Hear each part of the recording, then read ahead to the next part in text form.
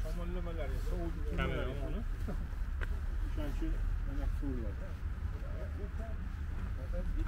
endi avvalambor assalomu alaykum. Xush kelibsizlar bunyodkor klubimizga. E, birinchidan e, hammani o'zbekiston xalqini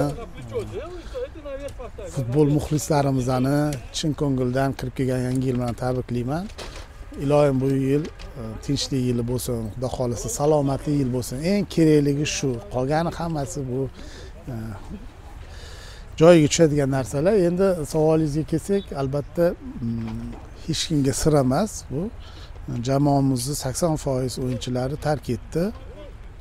E, aynan mana shu fursatdan foydalanib chempionat aziya orqali mana shu futbolchilarimizga aynan mana shu hozir endi familiyasini aytib o'tmayman chunki hammaga ayon shu futbolchilarimga katta rahmat demoqchiman. Oldingi yili e, judayam mm, ahil oila bo'ldik. Biza bu futbolchilarim bilan man faxrlanaman chunki bularni ko'pchiligi bilan man o'zim e, bunyodkor yoshlar tarkibida shularni shug'ullanib shular bilan birga chempion bo'lganman. Man shuning uchun ularga minnatdorchilik bildirmoqchiman. E, ishlarida omad tilamoqchiman. Bu bejizga e, yetakchi klublarga o'tib ketishmadi. Mana shuni o'zi ham e, bilsa bo'ladiki oldingi yil bunyodkor jamoasi judayam e, yaxshi mavsumni o'tkazdi deya olaman. Chunki qolgan jamoalarga mana birinchi ikkinchi o'rin uchinchi o'rinni olganlarga nisbatan buni yashirish hojati yo'q. Bizaniki bizani nimamizda qiyinroq qiyinroq vaziyatda edi.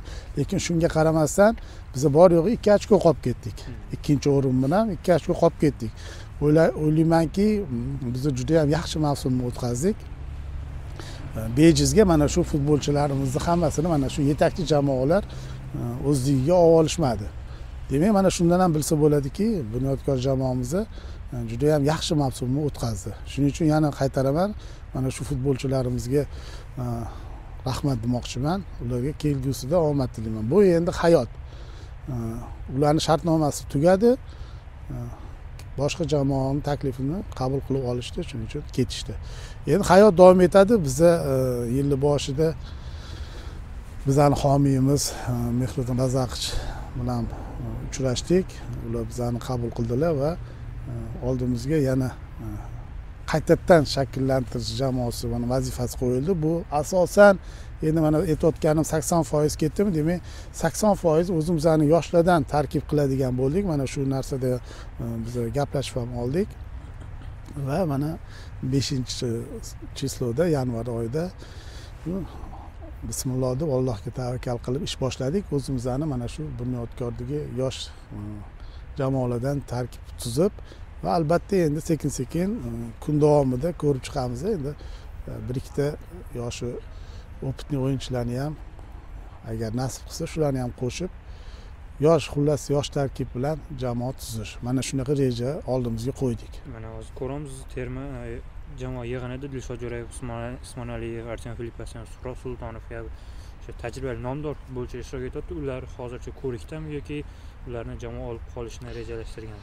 Endi mana yana qaytarib aytaman misol uchun e, har bir e, pozitsiyaga deymiz e, nomdor sag'al опытный o'yin ko'p ko'rganroq o'yinchilarni baribir olish kerak. Chunki birdan hammasini yoshartirib yuborish bu ham noto'g'ri. Chunki yoshlik kimga qarab o'sadi? Mana shu yoshi katta tajribali o'yinchilarga qarab o'sadi. Shuning uchun mana shu pozitsiyalarga tajribali o'yinchilarni taklif qildik. Ular bilan xudo xohlasa o'ylaymanki kelishuvga erishamiz va o'ylaymanki ular nafaqat futbol maydonida e, futboldan tashqari e, o'z e, yurish turishi baribir oilali bola chaqali bular shularga qarab o'sadi deb o'ylayman yoshlarni. To'g'ri yo'lda ketishiga bular bizga yordam beradi degan umiddaman. Endi xudo xohlasa o'ylaymanki ular bilan kelishuvga erishsak kerak yaqin kunlar ichida.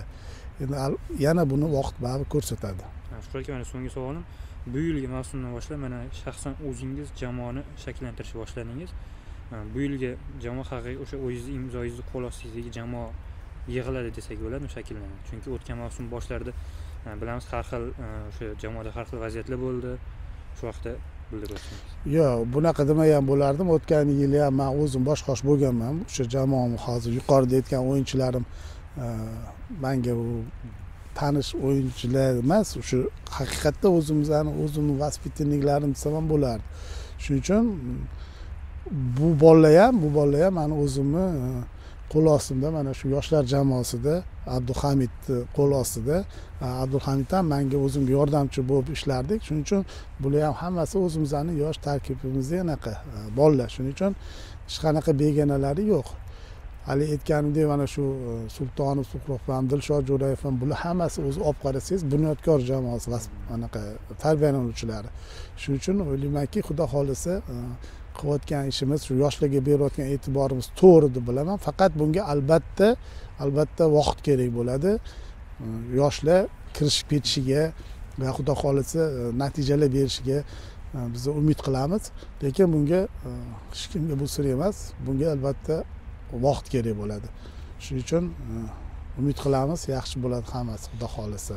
Kimdandir oldin kimdandir keyin lekin xudo xohlasa yaxshi bir jamoa tuzishni niyat qilganmiz shu yoshlar tarkibi bilan. Rahmat kattakon